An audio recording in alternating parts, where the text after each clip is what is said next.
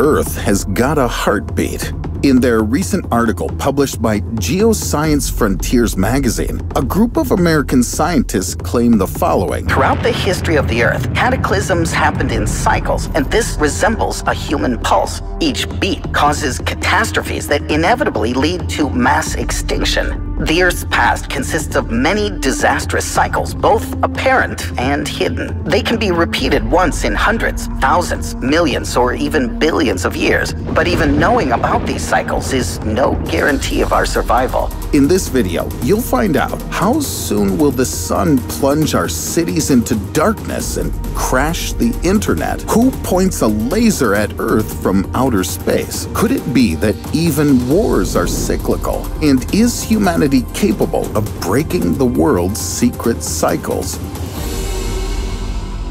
But there are also positive cycles in the world, like, for instance, when we support charity. However, the crucial areas like education are repeatedly ignored. You can break this cycle as well and get a chance to win a DeLorean, the legendary Back to the Future car from Omaze. Follow the link, omaze.com slash riddle. Get the chance to win the legendary DeLorean and donate to support Peterson Automotive Museum and the Peterson Workshop an educational YouTube series for children. The series provides insight into the past, present, and future of the automotive industry. The Peterson Workshop is a ready-made solution to integrate the automobile into a STEAM-based curriculum for K-12 students. And if you win the DeLorean, accelerate it to 88 miles per hour, go back in time, and donate again. This way, you'll break the cycle where nobody wants to donate money to culture and education. And using the DeLorean, you can then go back to the future, where they got more museums than Back to the Future pop culture references.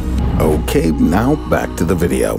The sun can throw us a real apocalypse. Can we overcome the dangers it poses? First of all, it would be good to sort out solar cycles that we seem to have overlooked for far too long. The Carrington event is the most powerful geomagnetic storm known to us in history. On September the 1st, 1859, a solar superstorm occurred on Earth, making the sky sparkle with northern lights from Canada to the Gulf of Mexico. The telegraph, the primary means of communication back then, shorted out due to the power surge.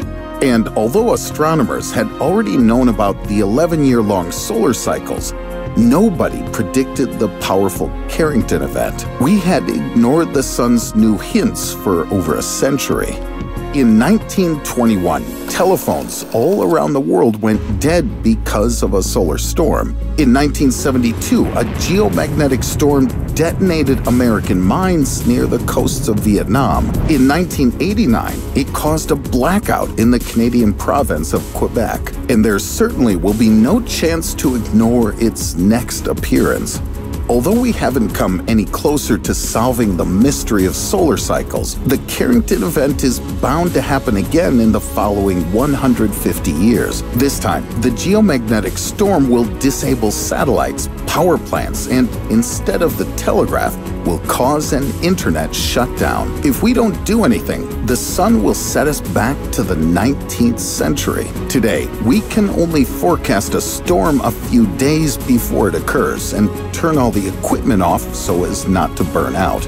But in the end, the sun will beat us anyway. In 750 million years, it's going to become so active that the Earth's oceans will evaporate and neither plankton nor plants will be able to produce oxygen. One billion years later, a solar storm will blow the ozone layer away, together with a part of the atmosphere. All living creatures will be suffocating in a scorching radioactive desert. But before we face that problem, will we be able to stop mass extinctions on Earth itself? The most challenging thing is to prove the very existence of the cycles. In the 19th century, a French naturalist, Georges Cuvier, developed a theory of catastrophes that annihilate almost all life on Earth on timescales of millions of years. Cuvier was openly laughed at. The same reception waited for Alfred Wegener, a German meteorologist, 100 years later. He claimed that all lands were connected 250 million years ago and formed Pangaea's supercontinent. It was accompanied by volcano eruptions, climate changes, and other cataclysms, which led to mass extinctions when it fell apart. Wegener's theory was also trashed, and only satellite images later confirmed that he was right. And that's where geologists found the Earth's heartbeat. As soon as all the cataclysms known to science were put on a chart, it became clear that they peak every 27 and a half million years. A new supercontinent, Neo Pangaea, will appear on Earth in 250 million years. Just imagine getting in your car in the USA and taking a drive to China or Australia, but not so fast. Within these 250 million years, we'll have to survive nine heartbeats of the Earth. The next one is expected in 20 million years. Currently, scientists have no clue about what is going to happen. We're too much used to the thought that we only watch nature from the sidelines, when actually humanity is still its integral part.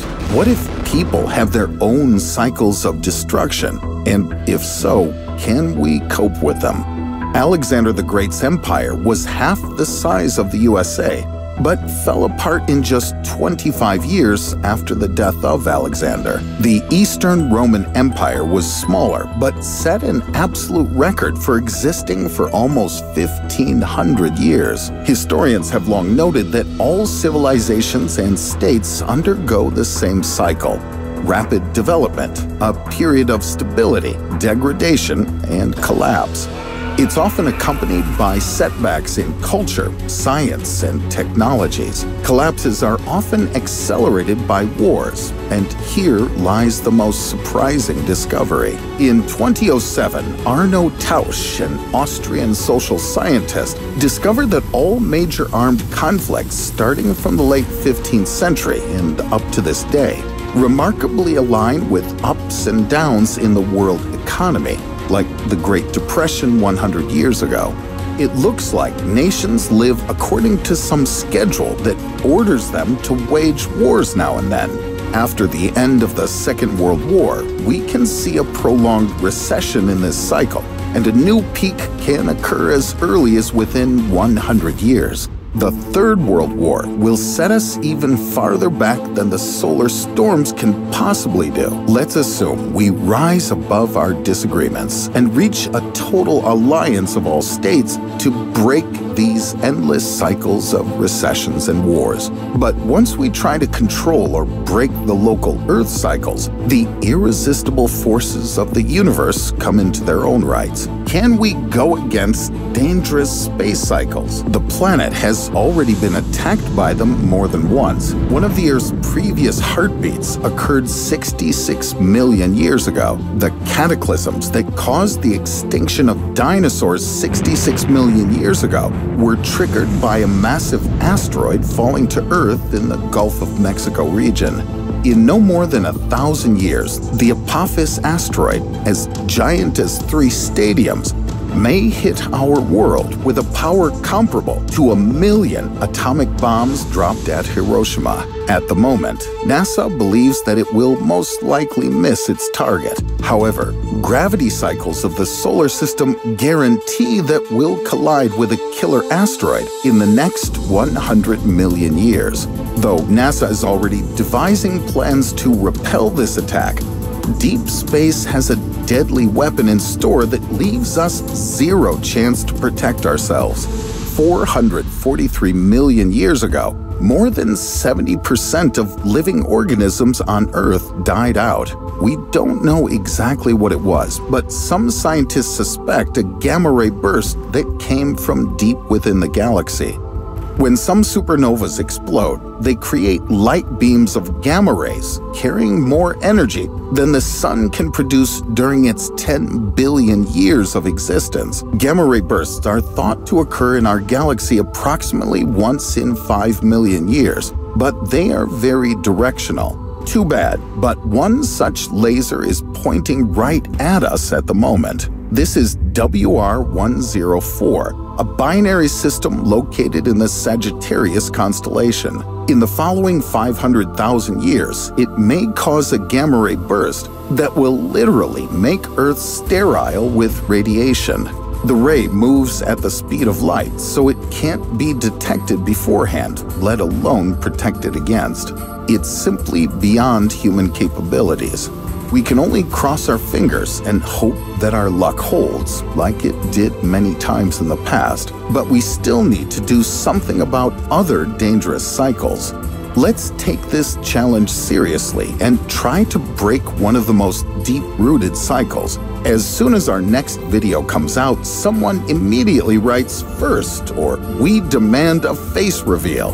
Do you think we can handle this one? Free your imagination and write in the comments what will you do if a solar storm crashes the internet for a whole year? And share this video with your friends while communications are still available.